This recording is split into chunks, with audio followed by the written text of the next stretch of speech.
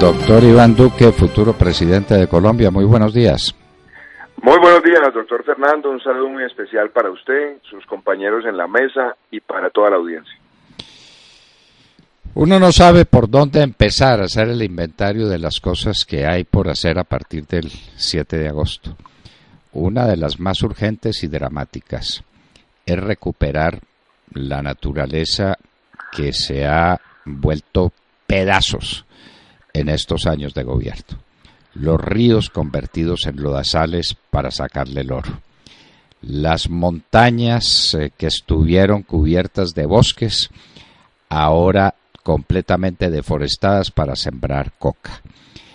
Los eh, ríos ya no llevan agua sino petróleo.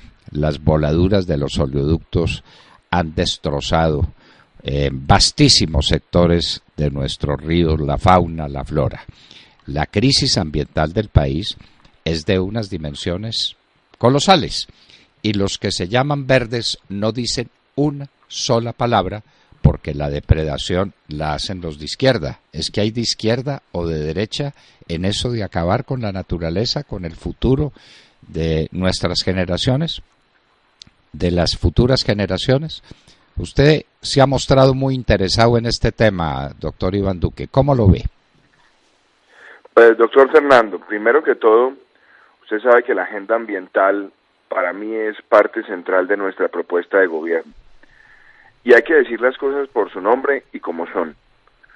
Colombia ha visto una gran destrucción de su selva tropical húmeda y la principal causa de esa destrucción ha sido la coca por cada hectárea de coca se están destruyendo más de 2.4 hectáreas de selva tropical húmeda en el país.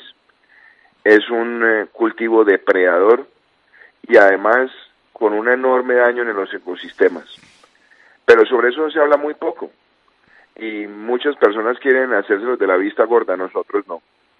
Para mí, el tener un país donde se enfrente el narcotráfico con firmeza, también tiene que tener como objetivo la recuperación de nuestra selva tropical húmeda. En segunda medida, doctor Fernando, la minería ilegal ha venido creciendo de manera vertiginosa en el país y usted sabe que una de las implicaciones de esa minería ilegal son los vertimientos de mercurio. Y aquí nosotros no podemos seguir dejando que eso siga ocurriendo. Yo he sido muy claro, vamos a enfrentar la minería ilegal y la minería criminal. Vamos a ratificar el convenio de Minamata y mi meta es que al finalizar nuestro gobierno Colombia sea un país libre de mercurio.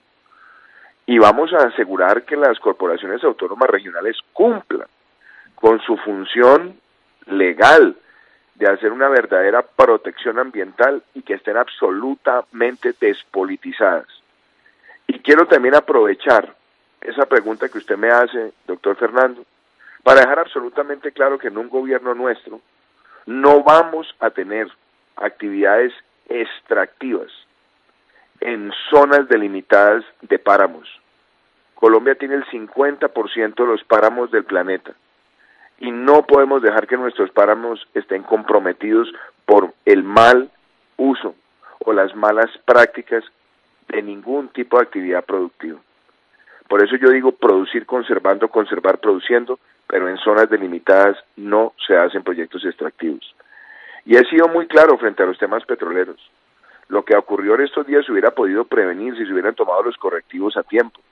Hay que resolver el daño ambiental de manera inmediata lo que se pueda y tenemos que, por otro lado, garantizar que haya una investigación lo más exhaustiva posible para determinar quiénes son los responsables. Pero quiero decirle también una cosa, doctor Fernando cualquier tipo de actividad petrolera en el país tiene que hacerse con los más altos estándares ambientales y sociales. Y he dicho que el desarrollo de campos no convencionales no se pueden contemplar si hay un daño a acuíferos subterráneos, a ecosistemas diversos, y requieren un amplio consenso científico con las comunidades y por supuesto con todas las autoridades ambientales. Pero quiero no solamente quedarme ahí, sino llevar al país a pensar en el futuro. Con el representante Federico Hoyos soy coautor del proyecto de ley que promueve los carros eléctricos en el país.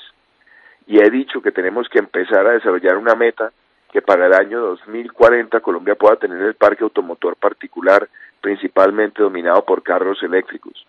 Que desde ya podemos empezar que en los vehículos de consumidor final de transporte masivo tengamos energías limpias. Que pasemos de menos de 40 megas instaladas de energía alternativa a que nosotros podamos llegar a un piso de 300 y un máximo de 1500 megas en los próximos cuatro años, desarrollando proyectos eólicos, fotovoltaicos, geotérmicos u otros. Pero la agenda nuestra ambiental es para que Colombia defienda ese gran patrimonio que tiene que es su naturaleza. Y quiero aprovechar para decir una cosa, doctor Fernando. Aquí hay otros ecocidios que se han venido acumulando a través del tiempo. Una cifra que seguramente mucha gente no, no conoce. Y tenemos que decirla tal cual es. Los ataques terroristas a la infraestructura petrolera en Colombia han tenido un daño que es absolutamente dramático. Al 20 de septiembre del año 2015, en Colombia se habían derramado más de 4.120.000 barriles de petróleo producto de más de 2.500 ataques terroristas desde el año 1986. Y eso hace que el terrorismo de las FARC y del ELN se considere el sexto mayor derrame de petróleo en la historia. Justamente detrás de ese, de ese percance tan dramático del 2010, que fue el, el Deepwater, que derramó más de 4 millones de barriles en el Golfo de México. Esto para decir que hay muchos que hablan de el ambientalismo, pero guardan silencio frente a los ecocidios que han sido propiciados por los grupos terroristas en Colombia. De manera, doctor Fernando, que usted tendrá en mí y en nuestro gobierno y todos los colombianos un gobierno que va a hacer de la protección del medio ambiente y de la sostenibilidad ambiental uno de los ejes centrales de lo que quiere entregarle al pueblo colombiano. Usted propone un tema que suscita muchos otros. Hace muchos años, cuando presidíamos la Asociación de Madereros de Colombia, proponíamos un plan de reforestación que siguiera los lineamientos del famoso Plan Bosque que se instauró en Chile y que le ha permitido a ese país, un país semidesértico, en condiciones muy difíciles para el crecimiento de los árboles, ganar tanta frontera forestal como la que pierde Colombia cada año como resultado de la depredación fundamentalmente causada por la coca que se tomó a Colombia. Ese plan de reforestación, ese solo plan de reforestación, implica una, una obra de unas dimensiones colosales.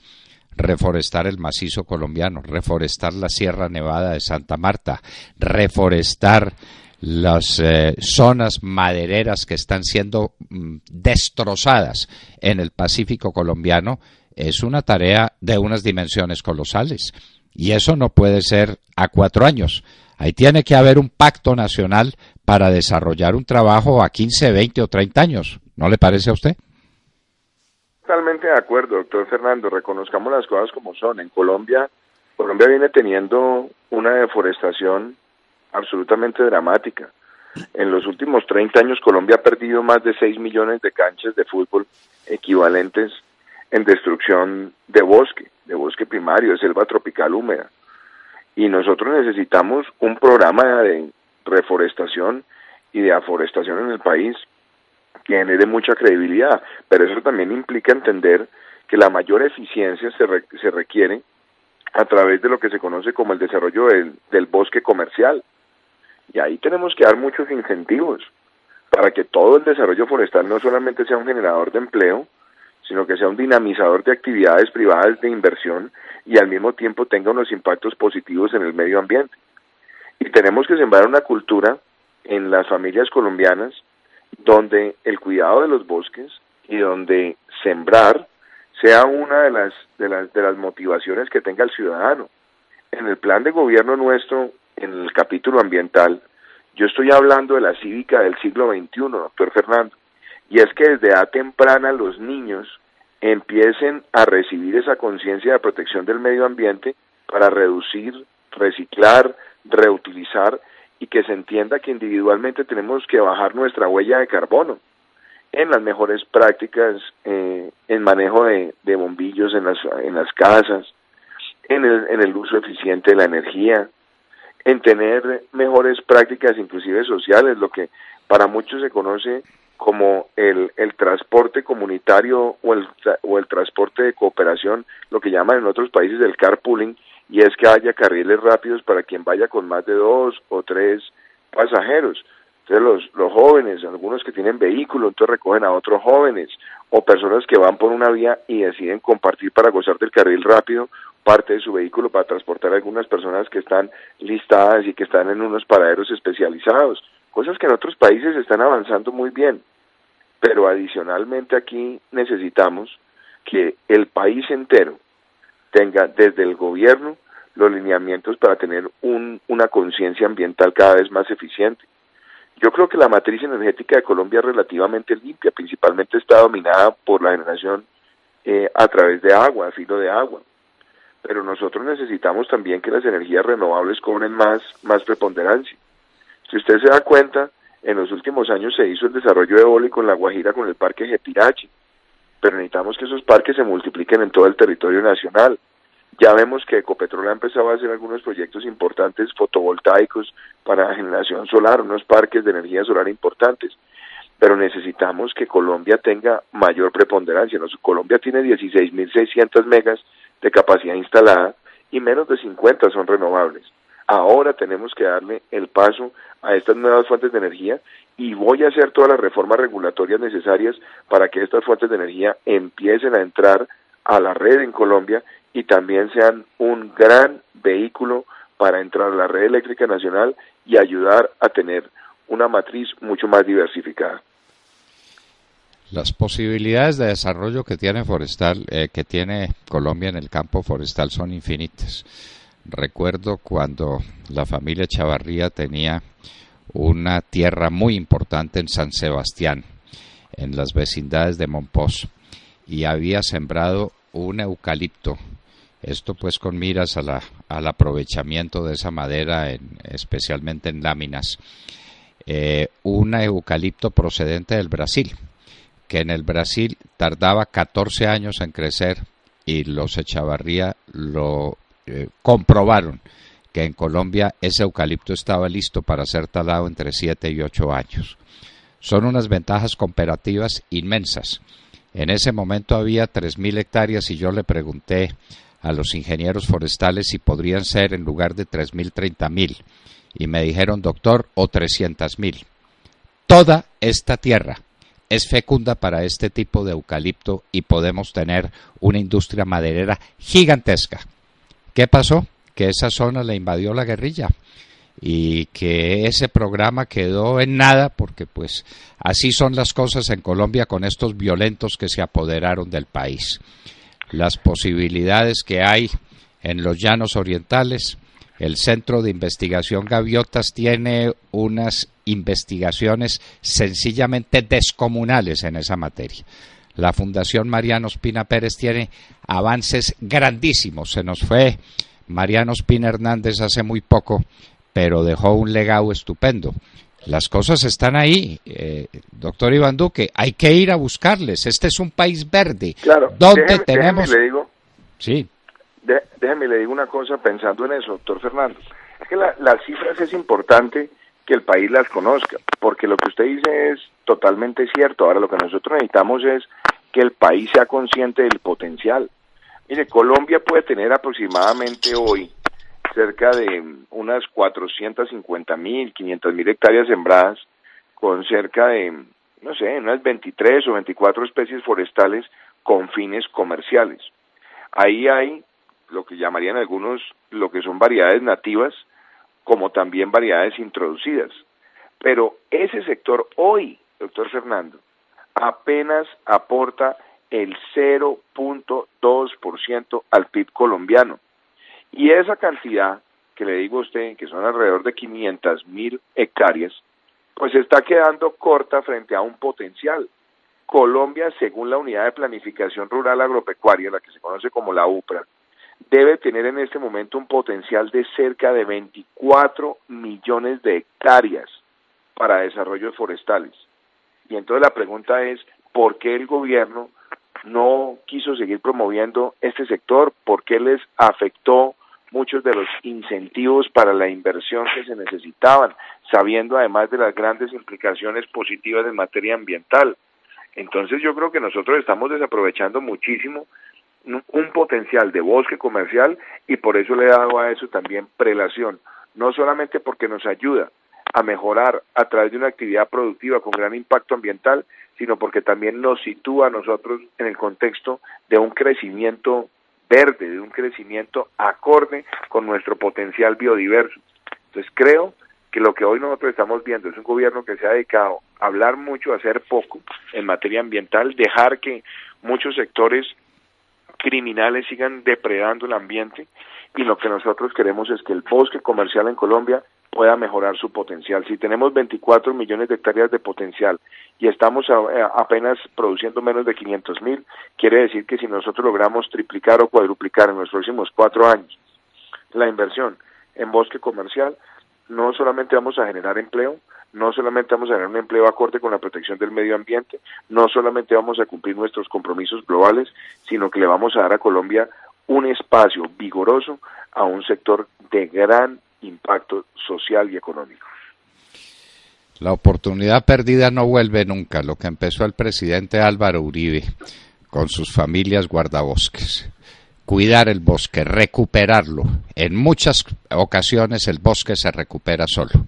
Aquí hemos tenido ejemplos madereros impresionantes. Yo no sé si usted conozca a fondo lo que hizo Pisano en las selvas del Chocó. Ahí está todo el estudio hecho. Están todas las especies que se recuperan. Pisano, la, esa industria, la industria Pisano es una industria benemérita para Colombia desapareció producto de esto que usted nos cuenta, de la persecución que se hace en Colombia contra el que trabaja, como lo están haciendo ahora con los planes reforestales de cartón de Colombia en el suroccidente del país. Es impresionante, pero el Instituto Nacional de Tierras lo está persiguiendo, o de restitución de tierras lo está persiguiendo, de manera pues que reforestar aquí es una audacia porque no hay seguridad jurídica y porque no existe esa mentalidad que hay que crear, usted lo dice. Si ese es nuestro gran eh, nuestro gran patrimonio, porque tenemos una ventaja comparativa inmensa, ¿cómo es que no la vamos a explotar y cómo no vamos a defender nuestros ríos? es que... Eh, inclusive, inclusive una cosa, doctor Fernando, mire, en el contexto de lo que usted plantea, es que cuando uno mira el entorno internacional, eh, empecemos por, por reconocer, es que lo que el mundo está viendo es importantísimo. Mire, la FAO viene haciendo unos análisis que a mí me parece que son contundentes, y es que todas las plantaciones forestales con fines comerciales en el mundo hoy pueden generar más de 13 millones de empleos. Colombia apenas está llegando de manera directa e indirecta a cerca de 70 mil.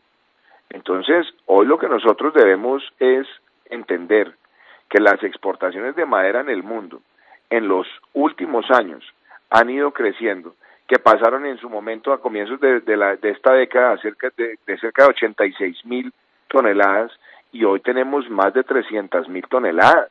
Entonces Colombia tiene que darse cuenta que llegó el momento de entrar a jugar, que llegó el momento de entrar a participar y que si nosotros lo hacemos bien, nosotros podemos hacer de este desarrollo forestal, comercial, no solamente un eje para recuperar mucho lo que se ha perdido en las en estas décadas depredadoras donde depredadoras donde tenemos los cultivos ilícitos arrasando con la selva tropical húmeda, sino que además tenemos una fuente de ingresos y una fuente de empleo. A mí me gusta lo que usted decía ahora, hablando sobre las familias guardavoces, y yo vengo diciéndolo también, es que ya no pueden ser solamente eh, estructuras de guardabosques, acá el pago por servicios ambientales va a implicar familias guardapáramos, familias guardaciénagas. Aquí se habla muy poco sobre los riesgos que tiene Colombia por la erosión costera. Y acá necesitamos que las comunidades también se involucren en la defensa de esos ecosistemas. Por eso yo quiero ser presidente de Colombia, para que la agenda ambiental de nuestro país sea una agenda efectiva, para que los jóvenes estén motivados con la protección de nuestro de nuestra biodiversidad. Y yo he estado diciendo algo en algunos discursos, doctor Fernando. Mire, cuando usted va al Caquetá, a esa puerta de entrada a la Amazonía, y se da cuenta del potencial que hay de investigación de esa biodiversidad, yo a veces digo, hombre, la ciudad de Florencia debería convertirse en una biodiversidad que nosotros tuviéramos allá con la Universidad de la Amazonía, con las universidades privadas del país, con centros de investigación, una especie de, de, centro de gran investigación mundial sobre nuestra biodiversidad y las aplicaciones de, esa biodiversidad con la tecnología para desarrollar servicios y bienes que puedan darle a nuestro país valor agregado. Que esa investigación se traduzca en que Colombia atraiga doctorados de todo el mundo a que vengan al país a conocer lo que aquí lo que aquí tenemos y a que aquí se puedan hacer registros de marcas, de patentes, que privilegiemos los investigadores nacionales. Aquí se trata de llevar el país a pensar al futuro y ese compromiso lo he asumido yo cuando entré a esta contienda electoral. Yo quiero ser el presidente de esa Colombia, donde la tecnología, la propiedad intelectual, la investigación, y la protección del medio ambiente puedan confluir para que Colombia lidere regionalmente lo que debe ser la agenda ambiental para las próximas décadas. Y más al norte lo que se ha hecho en Gaviotas. Yo espero que usted conozca en profundidad lo que se ha hecho. ¿Sabe una cosa? Ahora que usted me plantea eso, le cuento que yo siendo un niño tuve la ocasión de ir a Gaviotas y conocí a Paolo Lugari y me tocó ver esa, esa genialidad que, a él lo caracteriza, donde logró integrar no solamente la tecnología, sino las mejores prácticas de desarrollo forestal, las mejores prácticas de recuperación de suelos, para mostrarle al mundo que puede haber un concepto de comunidad autosuficiente y con un gran potencial económico. Y recuerdo muchísimo que un autor eh, norteamericano de apellido Weisman hizo un libro hermoso sobre el impacto y la importancia de gaviotas.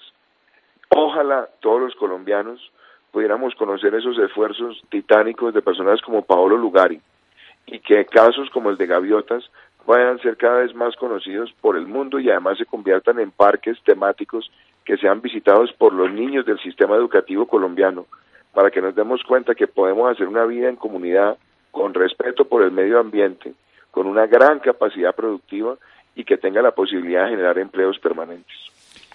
Y más al norte la altillanura, que puede ser la despensa del mundo en producción de alimentos, pero tenemos también eh, todos los, eh, los parques naturales que debieran existir en la tierra más fecunda del mundo. Eh, que está por allá en Sucre y en Bolívar y en las, en las proximidades de Monpós, una capa vegetal cuatro o cinco veces superior a la de la pampa húmeda argentina.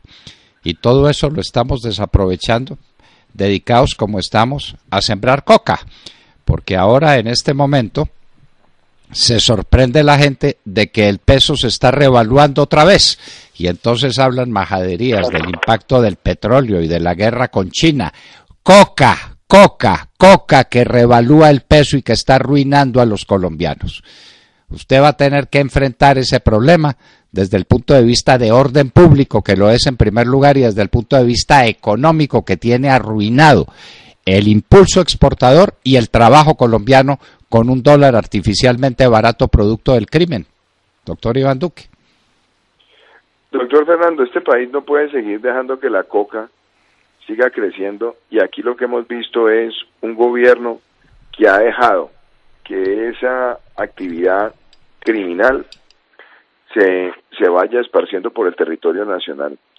Mire, en los últimos años pasamos de menos de 60 mil hectáreas a lo que tenemos hoy, que son más de 200 mil hectáreas de coca. Ese es el combustible del crimen en Colombia. Por eso nosotros necesitamos una agenda integral.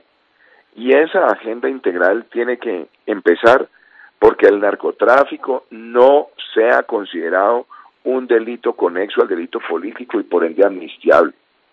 Eso debe continuar con que la erradicación y la sustitución sean obligatorias y no voluntarias.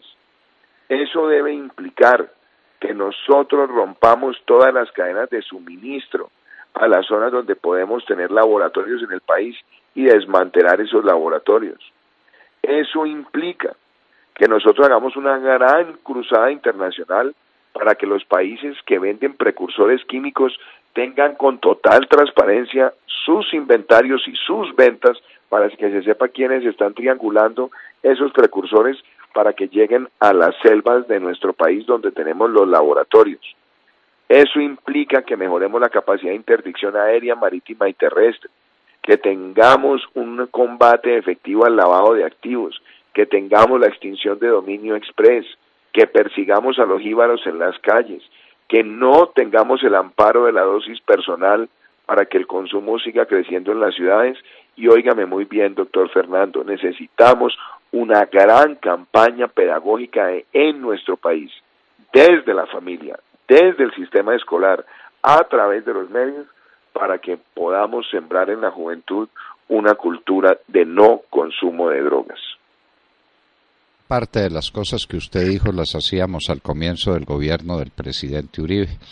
Hay un testigo de excepción y uno de los hombres que tiene más historia acumulada de toda esa lucha, de la interdicción aérea, de la interdicción fluvial, de la lucha contra los precursores, de la interdicción del combustible y del cemento sin el cual no hay ninguna posibilidad de eh, desarrollar la cocaína. Ese hombre se llama Luis Alfonso Plazas Vega, lamentablemente no irá al Congreso de, de Colombia, pero lo que hizo en la Dirección Nacional de Estupefacientes, el país no lo ha agradecido suficientemente. Eso hay que recuperarlo, porque son cosas que se perdieron, se perdieron.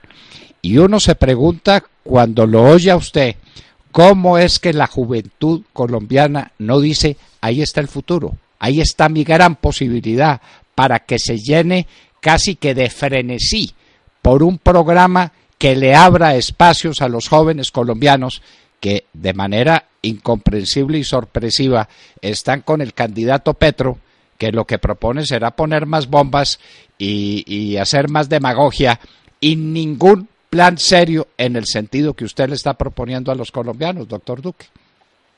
Pues mire, doctor Fernando, yo me siento muy contento de estar recorriendo el país con un, con un discurso primero de futuro y que no invita a la destrucción. En los discursos populistas y esos que son áulicos del socialismo del siglo XXI, lo único que hacen es llevar a los países a su destrucción. Yo tengo una agenda ambiental de la que me siento absolutamente orgulloso. Como se lo dije ahora, yo quiero que Colombia sea un país que aproveche ese potencial, que seamos un país libre de mercurio. Hay una cosa que no se me puede olvidar, doctor Fernando, que espero usted me ayude también a reproducir. Si nosotros tenemos también enfrentar toda esa minería ilegal y criminal de oro, por supuesto necesitamos una gran capacidad del Estado de llegar a donde están esas explotaciones y pararlas, que podamos confiscar rápido la maquinaria amarilla y en lugar de volarla, entregársela a los municipios para el desarrollo de proyectos de infraestructura. Pero oígame una cosita, yo quiero restablecer la compra unificada de oro por el Banco de la República. Es un mecanismo también bastante disuasor de esas actividades ilegales, porque si el Banco de la República es el único comprador certificado de oro, pues eso también hace que todas esas ventas por debajo de la mesa, que son claramente lavado de activos, no solamente tengan la posibilidad de ser detectadas con facilidad, sino que además tengamos el único mecanismo de venta a través de una unidad certificada en una de las instituciones de mayor credibilidad en el país. Eso no quería dejarlo por fuera. Pero además yo quiero decirle una cosa, doctor Fernando, volviendo al tema tan importante de la reforestación y el bosque comercial. Nosotros vemos que un país como Brasil tiene cerca de más de 8 millones de hectáreas en este momento. Chile, más de 2.5 millones de hectáreas. Argentina más de un millón y medio de hectáreas. Nosotros estamos por debajo de las 500 mil. El reto del gobierno nuestro es que esa, ese bosque comercial sea parte de la transformación ambiental de Colombia. Y quiero decir una cosa, doctor Fernando, nosotros no podemos seguir viendo más payasadas. Este es un gobierno que se fue a firmar el Acuerdo de París y hablar de medio ambiente. Mire la situación presupuestal del Ministerio de Ambiente. Es un ministerio que recibe menos del 0.5% en el presupuesto nacional. Es un ministerio debilitado, es un ministerio que no tiene la capacidad de ser un gran articulador de políticas públicas, es un ministerio que está desconectado de lo que se está haciendo en materia agropecuaria. Nosotros vamos a darle al medio ambiente el protagonismo que se merece en la agenda nacional. Y quiero decir una cosa, por ahí andan unos candidatos populistas diciendo que van a acabar con el petróleo en Colombia y que yo soy un promotor de la muerte. No, no, país, los países necesitan convivir con todos sus sectores, como lo ha hecho Canadá, que tiene petróleo, que tiene minería, responsables los dos, pero que tiene un gran desarrollo en materia de bosque comercial, en materia ambiental. Lo que nosotros no podemos dejar que ocurra en nuestro país es que la producción de ningún eh, hidrocarburo sea a costa de la destrucción del medio ambiente o de los acuíferos subterráneos. Nosotros no podemos dejar acá que la minería se haga de manera depredadora con los ecosistemas. Por eso nosotros tenemos que hacer esto con mucha responsabilidad. Pero quiero ser muy claro en sus micrófonos. Ninguna actividad petrolera en el país puede desarrollarse comprometiendo ni la riqueza de nuestros acuíferos subterráneos, ni nuestras cuencas hidrográficas, ni nuestros ecosistemas diversos. Pero necesitamos un país donde se pueda convivir entre todos los ejes de la producción bajo lo que yo llamo el prisma producir conservando, conservar produciendo. Sabemos que usted tiene otro compromiso. Nos reserva un espacio otro día para que hablemos ando de la en Popayán, doctor, ando en Popayán, doctor Fernando. Ya ah, me pregunta, le, cuento mi periplo. Hace dos días estuve en Valledupar en la misa del Santo Exiomo, saludando a la comunidad, hablándole a toda nuestra dirigencia también en el departamento del Cesar, hablando de nuestro plan de gobierno.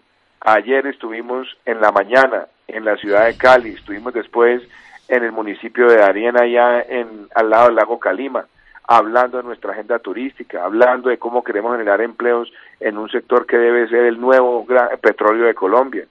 Después de eso vinimos a Popayán, estuvimos ayer en una rueda de prensa hablando también con la ciudadanía, haciendo recorridos en las calles y vimos anoche con la comunidad esa, ese, ese magnífico, ese esplendoroso patrimonio de la humanidad que es la Semana Santa en Popayán, viendo los distintos pasos donde van compartiendo con la comunidad esa riqueza ancestral, religiosa, colonial, que a nosotros nos hace sentir muy orgullosos de ser colombianos.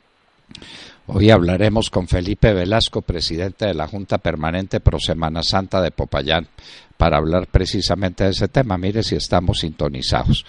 Pero le decía que un día hablaremos de la recuperación del bosque cafetero, que es una tarea pendiente que tiene Colombia. ¿Y por qué no me deja de una vez, por, qué no me deja de una vez puesto en su agenda para que en ocho días hablemos de eso? Ah, listo, comprometido. ¿A qué horas, a qué horas lo espero la semana entrante? El lunes. Saben que yo, yo, yo me la paso madrugando porque como dicen, el que madruga Dios le ayuda. Yo me, yo madrugo, usted me dice jueves de la próxima semana a las seis, seis y veinte de la mañana estoy listo cuando usted disponga, doctor. ¿Jueves o miércoles? ¿Qué día prefiere? Cualquiera de los dos. Usted me dirá cuál le queda mejor a usted. No, no, a mí me queda igual, a mí me queda igual. Usted sabe pues que esto tiene prioridad uno, de manera que mire su agenda y díganos si el miércoles o el jueves a primera hora de la mañana volvemos a hablar. Ya para el miércoles, anótelo ya para el miércoles en ocho días a las seis y veinte de la mañana hablamos de nuestra política cafetera, doctor Fernando y váyase a sus compromisos para que no me coja pereza porque va a decir con el doctor Londoño me enredo y no puedo atender mis otros compromisos. No, mire, yo estoy muy contento de, esta, de las conversaciones con usted y sobre todo me, me gusta mucho la que tuvimos también el día de hoy de poder hablar de nuestra agenda ambiental, doctor Fernando. Colombia necesita que los temas ambientales sean del corazón de todos los colombianos. Yo llevo muchos años trabajando en la protección del medio ambiente, lo hice cuando estuve en el BID, lo hice cuando estuve en el directorio del, Banco Interamericano, lo hice promoviendo la economía naranja como un, como un sector además de limpio ambientalmente. Y hoy lo que quiero es que la juventud colombiana se motive con una agenda ambiental donde tenemos la reducción de la huella individual de carbono, la promoción de energías renovables, la promoción de los vehículos eléctricos, donde tengamos además mucha más solidaridad comunitaria en el manejo del transporte, donde nosotros también aprovechemos de nuestra biodiversidad para hacer investigación aplicada. Y eso es parte de esa Colombia del futuro que quiero construir. Por eso yo le digo a todos los colombianos, el futuro está en el centro, el futuro es para todos y además le estoy diciendo a los colombianos, acá necesitamos que la agenda ambiental también sea un mecanismo para derrotar por completo a ese sector depredador del ecosistema que ha sido la coca en nuestro país. Muy bien, y mire usted lo que son las cosas. Yo me empecé, yo me inicié profesionalmente como superintendente de control de cambios. Tenía 23 años y el Banco de la República era el único comprador de oro válido en Colombia. El único era el Banco de la República. Es una experiencia pendiente. Ahí trabajaba con Rafael Gama Quijano, un personaje que no sé si usted alcanzó a conocer. gran amigo, ah. y lo, lo quise mucho y fue uno de mis mentores en la vida fue uno de esos grandes colombianos y además recuerdo siempre todas sus enseñanzas. Era una persona que había construido una carrera exitosísima a base de méritos y esfuerzo y creo que es de los más importantes banqueros centrales que ha tenido nuestro país. Bueno, doctor Iván Duque, entonces eh, miércoles eh, 6 y 20 de la mañana, ¿no? Así, ya queda planillado. Aquí queda en agenda, doctor Fernando. bueno, bueno, seguiremos, seguiremos desarrollando estos temas apasionantes. Esto sí es lo que hay que discutir en el país, lo que hay que proponerle a los colombianos, todo un plan de gobierno, todo un plan de Estado, todo un plan para los jóvenes para abrirle el corazón a la esperanza. Muchísimas gracias, doctor Duque. Gracias, doctor Fernando. Felicidades. Bueno, queridos amigos. Ustedes ven pues la diferencia entre lo que es la demagogia barata y lo que son los planes reales, posibles, en un país que tiene la mayor biodiversidad del mundo.